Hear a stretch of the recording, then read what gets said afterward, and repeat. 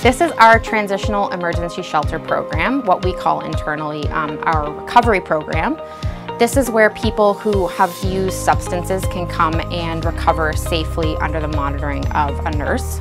We get referrals from all over. Some people are self-referrals. They might have used at our safe injection site and walk around the corner and say, I need a bed for recovery. Ottawa Police brings us people um, who might otherwise end up in jail or in a hospital. Um, they bring them to us instead. Ambulances can bring people who have been using substances to come and recover safely. Uh, once we arrive, we bring the patient in and then we meet with healthcare staff we provide a, a, triage report, we call it, but an, a report on our assessment, our findings, and then we transfer that care. At that point, the paramedics then are able to leave, but we're returning to the community a lot faster. Now, last month alone, we were able to take approximately 73 patients here. So in October um, of 2021, it would have been 73 patients that would be able to be diverted from the emergency department to this facility. Typically what happens, a general call that we'll get, we either get a 911 call or it's a proactive call where we come across someone downtown that's, whether they're intoxicated, uh, mental ill, a combination of both, or some substance abuse issues. This person typically, rather than going to the hospital, that's the step that we used to take.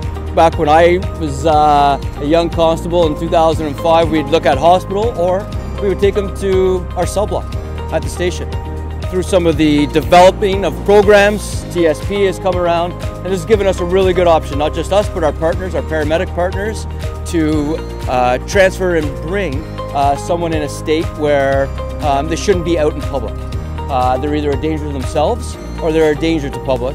And this is the first step where we could take them, where we're not utilizing some of those other assets, uh, the hospitals, our police station, when police or paramedics bring in an individual, um, we look to see if they're stable, uh, why were they brought in. When paramedics bring them in, we grab their truck number, we grab the call number as well, we get their vitals, uh, blood sugar, blood pressure, uh, oxygenation level, why they're picked up, and then we assess the client if we feel that they need to be in observation room.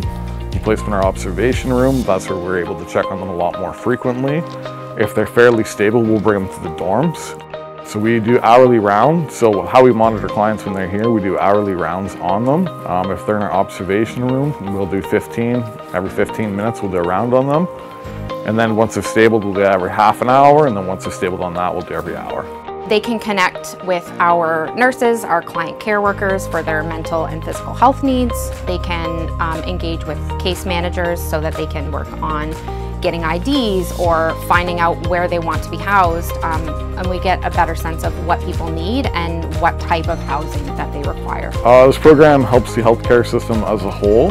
Paramedics tend to really like the program. Um, for the paramedics as well, when they go to the hospital, they cannot leave that patient until that patient is admitted into the hospital, so that jams up sometimes six to eight hours of their day.